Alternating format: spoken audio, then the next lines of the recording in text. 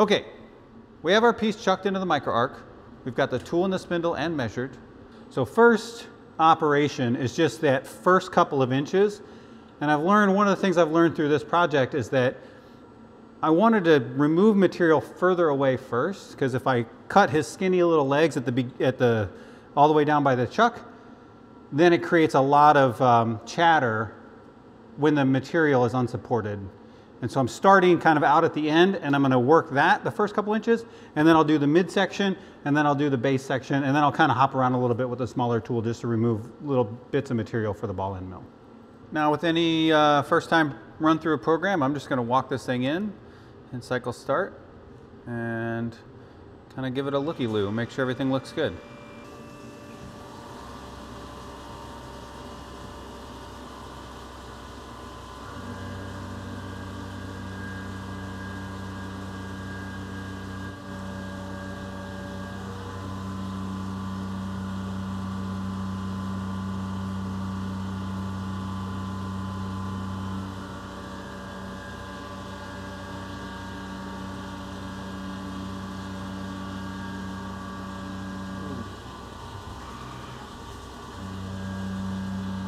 And I'm running this pretty conservative today because I have such a stick out on that workpiece from the MicroARC. If I had a tailstock, I'd be running it a bit harder. And I'm still just gonna walk it up real slow.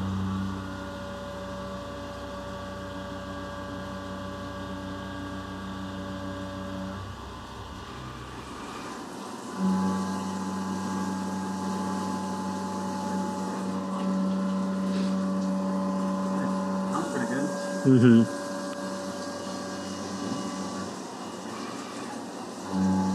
Yeah, I don't hear any chatter yet. Yeah, I don't either. I'm actually running a little faster than I had originally planned.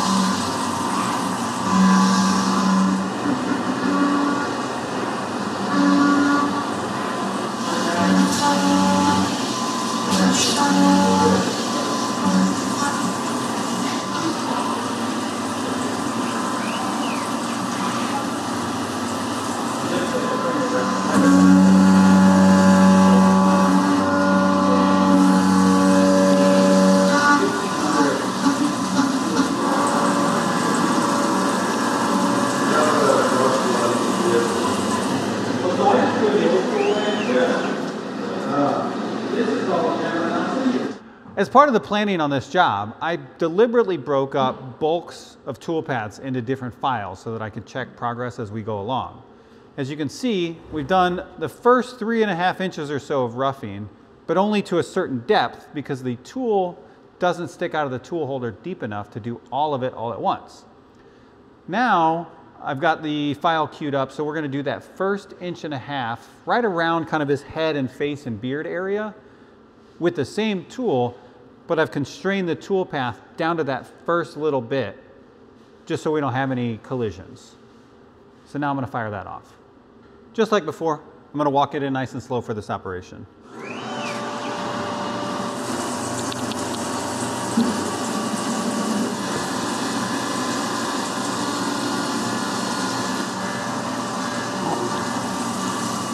Let it eat for a minute. Okay. I might, I might turn it up.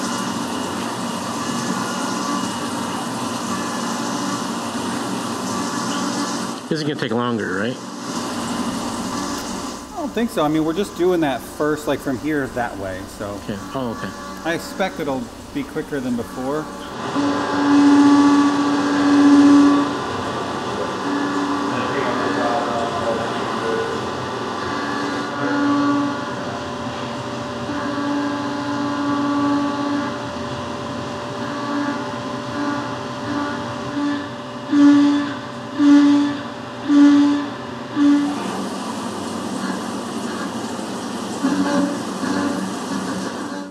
Okay, now that we've got the first couple inches cleared off, I'm gonna go ahead and get around his ankles and everything.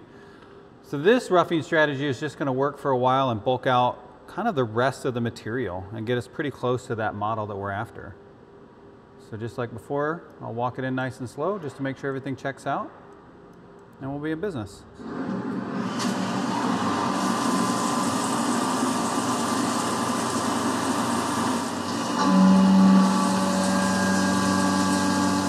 And I'll probably be able to run this one up a little harder since it's so close to the chuck.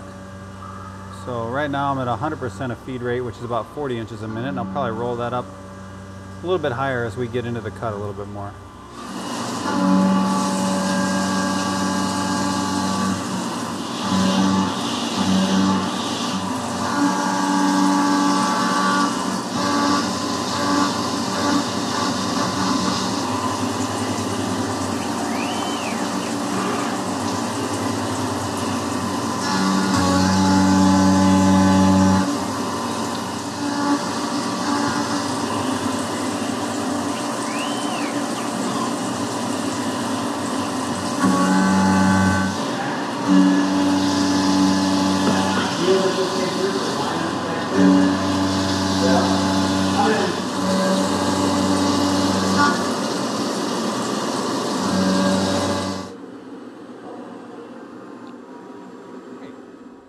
So far, we've been using a 3 8 inch end mill in a set screw style tool holder to bulk out most of the material. Pretty standard setup, and I was able to reach most of the material. However, if you look at the part in process, on the back of his legs, there's actually a bit of material that's left because the tool holder, if I go any deeper, will collide with the jaws of the chuck on the MicroARC. Therefore, for this last little bit, I'm going to switch to an ER16M tool holder that has a skinnier shaft on it, and I've got the tool pulled out longer than is advised, but I'm just going to be removing a little bit of material on the end of this job just to clean up space for the next tool, which will be a flat eighth inch end mill that'll come in and clean in some corner pockets and kind of get some extra material out of the way so that ball end mill has constant surface engagement the whole way through. For that eighth inch end mill, both for the flat and for the ball, I'm actually using an AB Tools AccuHold just to stretch that tool out a little bit. So this has a 3 8 inch outer diameter and an eighth inch inner diameter. There's a, a myriad of options on tools like this, but this is my tool of choice for getting down into the deep cavities of things. For example, when I want to get in between his toes, I need to get this all the way down in here without colliding the, the collet or anything else on the stock or the chuck. So I only have one of these, so halfway through this job, I'm gonna have to switch this out for the ball end mill and re retouch off my tool length. But this is kind of a one-off part, so that's a sacrifice I'm willing to make. Ultimately, we're waiting for it to get into the meat of those, you know, behind the legs, the big flat spot.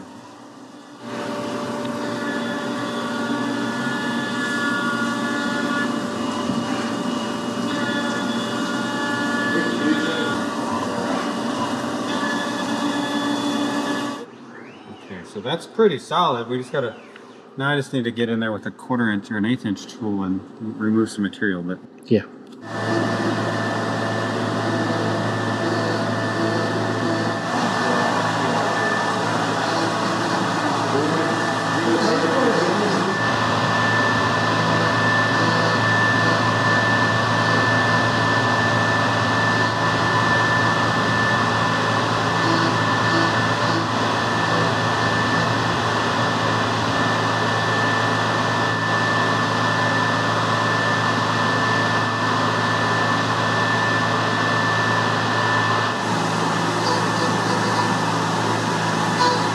We have the material all roughed out and ready to rock and roll. Now it's down to the finishing pass. I have an eighth inch ball end mill, and we're gonna do a 2,000 step over on a rotary tool path all the way around this thing. And we're gonna spin the A axis all the way up to 855,000 degrees by the time we're all said and done. So let's load the tool up. All right, I think we're ready. This file's very, very large.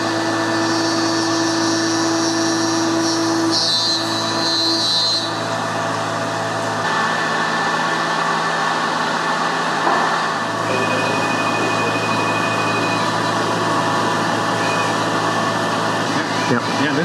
This is it. Cut. That's it. Once it gets done, we're done. Yep. Nice. Oh, it's starting to smooth out. Smooth top.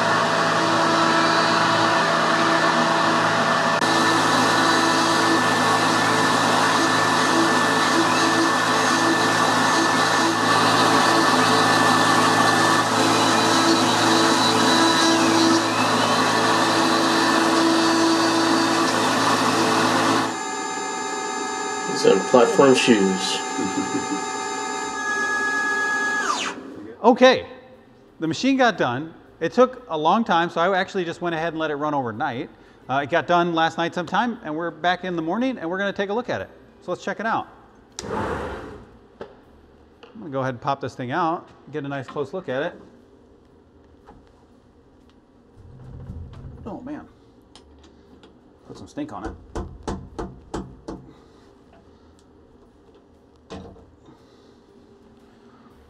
Oh yeah, money. Sweet. Ultimately, this has been a really good project, a fun project, and I'm glad you were along for the journey. Uh, I did some math. It took just over three hours and 45 minutes to rough out the material. And remember that we staged it all the way down to minimize chatter and kind of deflection of the material. And then it took almost 10 hours to surface this. The surfacing was done with an eighth inch ball end mill. I was doing a two thou step over, 40 inches a minute. Uh, and I actually slowed it down a little bit to about 80% of that 40 inches a minute before I left last night, just because I wasn't going to be here watching the machine, and I figured if it took a little longer, not a big deal. So it took about 10 hours to uh, do the final surfacing of this. And I also want to take a quick second to note that this started its life as an STL file that I downloaded from a 3D printing website. I ultimately picked this version because I like the geometry.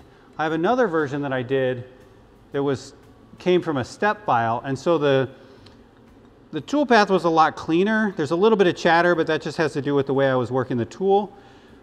But I think this is just kind of a boring geometry, so I went with this as my final product, which ultimately resulted in a little bit of faceting kind of here on the, especially the sack, you can see it, and then what is supposed to be fur on his coat looks a little weird. But all in all, I'm pretty excited. I think my daughter's gonna be pretty excited. The next step will be I to cut soft jaws so that I can hold this thing in a vise. I'll stand a CNC vise up on its side, cut off the feet, you know, get a nice surface on it, drill and tap two holes in the feet, and then I'm gonna put it on a base to where it hangs over the edge and has a little hook for a stocking holder. All in all, this has been a fantastic project and I'm glad you are along for the ride. Have a good day and enjoy making things. See you later.